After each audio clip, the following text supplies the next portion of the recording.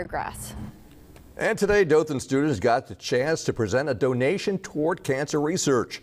The Dothan Preparatory Academy and SGA faculty presented a $5,000 check to the Relay for Life of Houston County.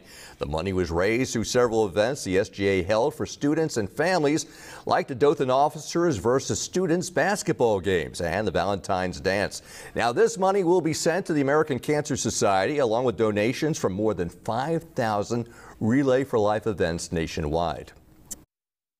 It, it's phenomenal. It's just so awesome to see young people work and love something and love something that I love too. It's just wonderful. Great news there. The main Relay for Life event in Houston County will be held on April 29th from 6 at night to around 10 o'clock that evening at the National Peanut Festival Fairgrounds.